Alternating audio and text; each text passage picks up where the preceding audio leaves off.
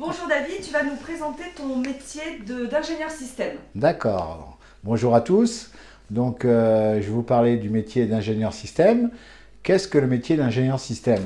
Euh, Concrètement, le système informatique d'une société est quelque chose de très très important, voire de primordial. Sans informatique, maintenant, euh, une société ne peut pas, ne peut pas travailler.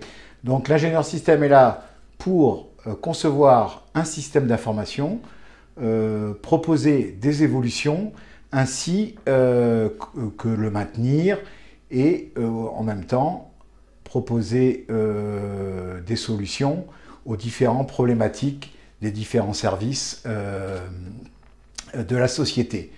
L'ingénieur système peut au démarrage concevoir tout le système d'information, c'est-à-dire on va partir des serveurs, du cœur de réseau, des switches, de routeurs, euh, du poste utilisateur, qui peut être un PC, un portable ou un client léger. Euh, voilà.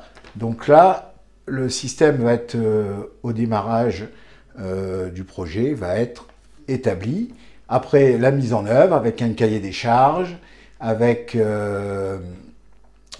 cahier des charges, avec définition des besoins et faire le budget pour euh, la partie financière.